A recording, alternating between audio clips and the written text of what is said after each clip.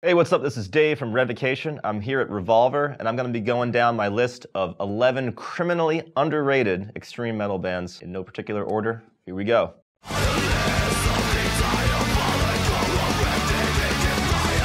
First up on my list is Abhorrent from Texas.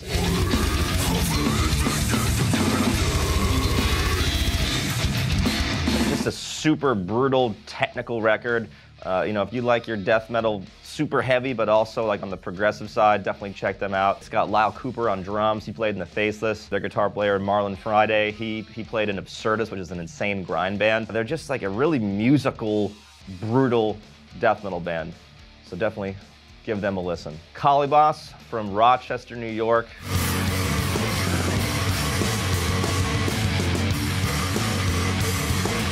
Super heavy, gross, grimy grind. Like, I'm pretty sure there's like puke samples on one of their records, like in between songs, and like I think a girl even says like whatever like the clip is from. I think she's like that is so gross, and then they kick right into one of their tracks. So yeah, I remember just being like, oh, this is just like disgusting, but I love it. They were one of the first like underground bands that I went to go see as a kid. I remember standing outside their show. They played O'Brien's in Boston, and I was handing out flyers for an upcoming gig that my band was playing. And yeah, they, they really like blew me away. Like I think they basically kind of like snuck us into the show. I, I, I had their pin, uh, "Don't take drugs, give them to Kalibas" for like years on my old leather jacket. They got Eric Burke in the band, who's just like a, a, legend in the, in the in the metal scene. Their vocalist has one of the most brutal sounding voices I've ever heard. So super unique. It's like tons of aggression, but just super like guttural and gurgly at the same time. Yeah, they're just a like a, a grimy, gross grind band that uh, I can't get enough of. Anata from Sweden.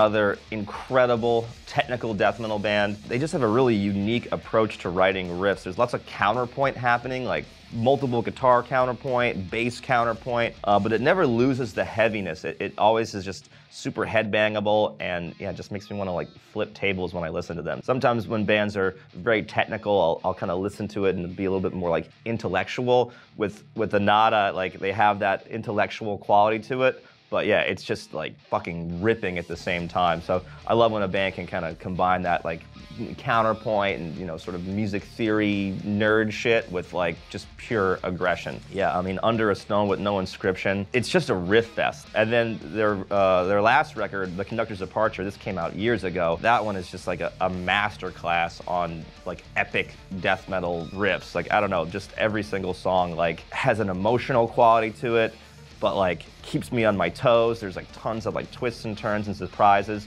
They're one of those bands where like I listen to their riffs, I'm like, how the fuck did they come up with that? They had a record that was supposed to come out I think on Earache, and it just was like lost to the sands of time. Anyone from Earache watching or Anata, you know, just, just send me the record. I won't share it, I won't leak it. I just want to hear what you guys came up with. Because I remember hearing like demos, like I think it was like on like MySpace. So I don't know what happened. I'm not pointing any fingers, but Give me the riffs. Bring the riffs. Extol, Norway. Christian death thrash.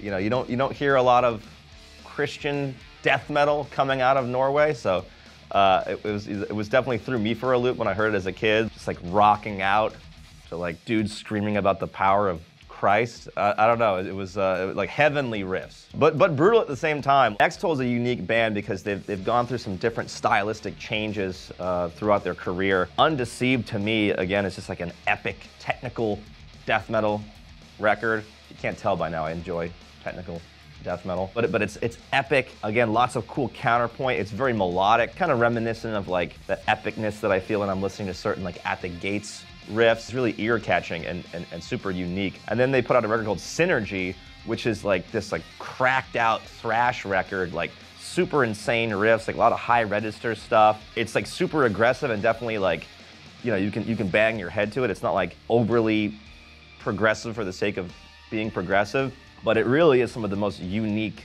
thrash metal like I've ever heard. The fact that they could go from a super epic melodic technical death metal record to this crazy spider fingery unique off the wall thrash record just always really impressed me and I think is just, you know, a testament to their, their abilities uh, on their instruments and their, and their creativity as songwriters. Please tell me Synergy is spelled how I think it's spelled. No, it's not. God damn it. It's not. Next up, Visceral Bleeding from Sweden. You couldn't tell. Another brutal death metal band. Visceral Bleeding, I feel like hasn't gotten quite the attention they deserve. Uh, they put out a few records over the years. I got into them from their Rem- Remnants of Deprivation record. Insane riffing, kind of reminds me of like a suffocation style, where it's just brutal and like unrelenting, but just tons of the spider finger riffs. They're one of those bands where like I'm surprised more people kind of that are like really into like death metal don't know about them because they're just like pummelingly heavy and unrelenting. You know, I could easily see them on tour with a band like Suffocation or something like that and just like fucking killing it. I'm sure they probably play like different death fests like over in Europe, but to my knowledge, I don't think they've ever toured uh, in the in the states before. So now moving out of the realm of technical death metal and into the realm of technical black metal, and not just any technical black metal, anonymous technical black metal. Thantifaxath.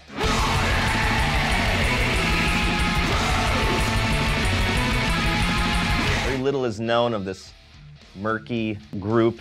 I mean, I know who they are, but I'm not telling. I remember hearing their Sacred White Noise record, and it like blew my mind. It was just, it sounded like this like evil demonic alien playing guitar. Tons of vibes. You know, I, like I love my black metal to have some atmosphere and some and some some creepy you know, ethereal vibes to it, and I feel like Thanafax had to bring that. There's just this this level of musicality there that is is really unique to Thantifaxath, um, the songwriter, whoever he or she is. Again, I know who it is. I'm not gonna tell, or I can, you know, I'll say who it is, but you bleep it out. It's. See, you never know. I won't tell. Your secret's safe with me. And, and me. And you. Now, now, so we have to kill you now, though. Now that you know. Yeah, I would definitely recommend checking out Thantifaxath if you like your black metal chaotic and riffed out. It's gonna give you nightmares for sure. This is a wild card one right now. Psudoku from the, the farthest nether regions of the, the cosmos.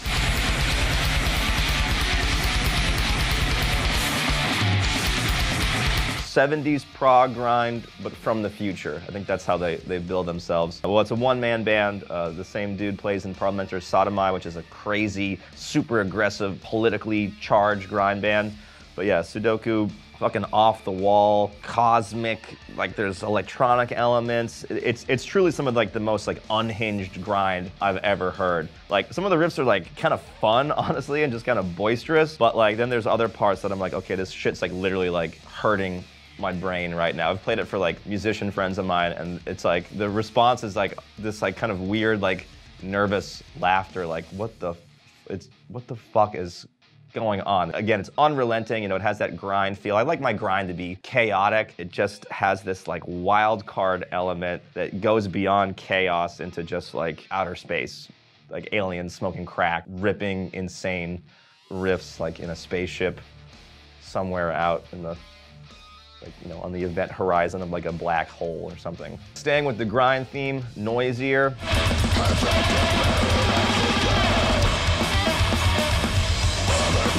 Again, super chaotic, insane, brutal, fast, pissed, aggressive. Subvert the dominant paradigm. That that record was like, holy shit, just like a white knuckle hell ride. You just like strap in and listen to that thing and it will like fucking rip your face off. So yeah, if you want some like super aggro grind, definitely give that a spin. No, there's no frills with, with grind, right? You just gotta, sometimes it just is what it is. It's fucking pissed. What do you want me to say? Fucking listen to it. All right, going back to some heavy ass death metal, Cosmic Putrefaction.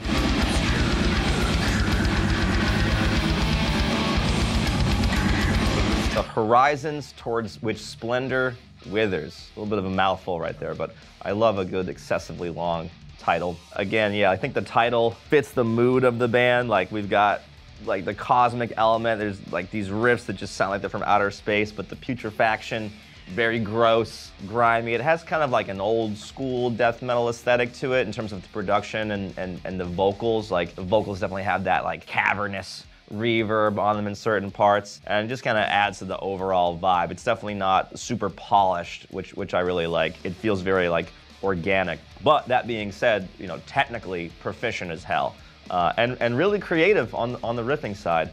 Dodecahedron from the Netherlands.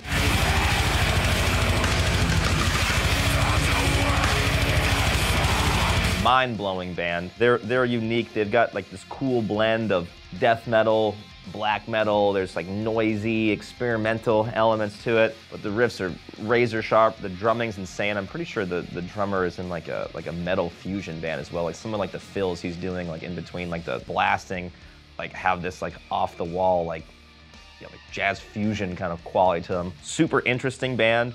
Uh, their their self-titled record that came out in 2012 really grabbed my ear. I love it when I discover a new band and like it can just be like one riff. It'll just like catch my ear and I'll like, like what the fuck is this? Where was this the mindset of the person that was writing this music? Like how do they even come up with it? So I love discovering bands like that. I think they'll catch your ear, especially if you've hung in this long through this list of extremity. Dodecahedron should definitely be on your list. If you like the shit I've talked about so far, I think you'll love Dodecahedron. Last, but certainly not least on my list is Martyr.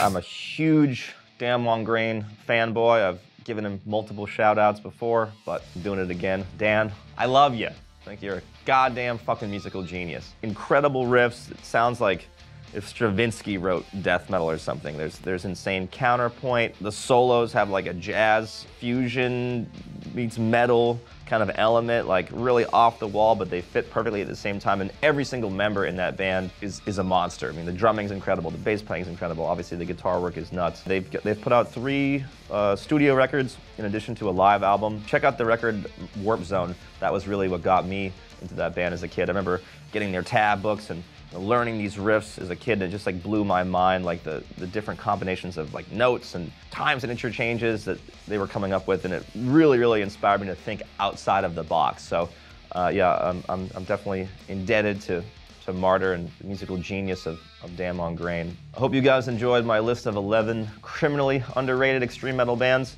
I'm obviously a huge metal nerd so this was a fun list to compile. Hope you guys get to experience some some new music and put some wacky shit on your radar that maybe you never heard of before. But, let me fucking start over again. Fuck, I lost my goddamn train of thought. Brought to you by Liquid Death. Ah, you know? Aggressive.